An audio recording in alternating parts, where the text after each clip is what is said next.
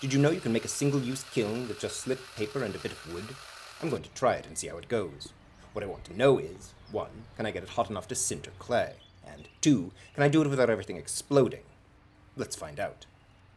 All you really have to do to make this kiln is wrap a teepee fire in alternating layers of paper and clay slip.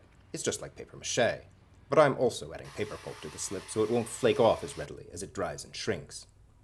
This is a bisque shelf I made to put the work on and the fire under. These are my little test subjects. Who's the lucky volunteer? Hope you make it out, little guy. This is a cone pack, so I can see how hot it really gets in there. Each cone is designed to melt at a specific temperature.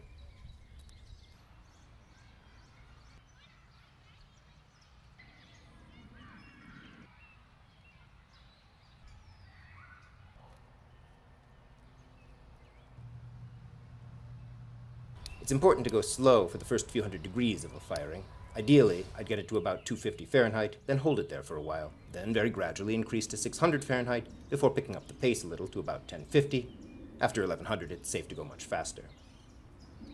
I've been hearing some ominous popping noises. I tried to keep the fire small, but I think it's gotten too hot too fast. Probably I shouldn't have put so much fuel inside the kiln. A quick check confirms. Fragments. The test subject is lost. Might as well push the temperature then. To which end? A leaf blower.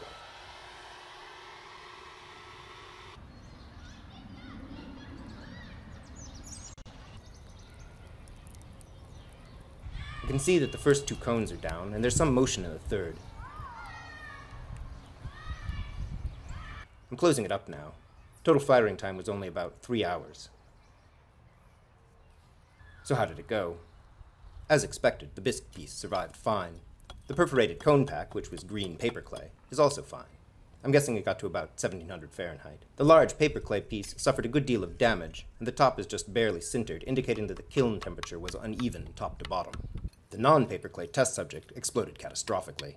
A foot is the only piece I recovered. So it got to a pretty good temperature, but next time I've got to move much slower through the first stages of the firing.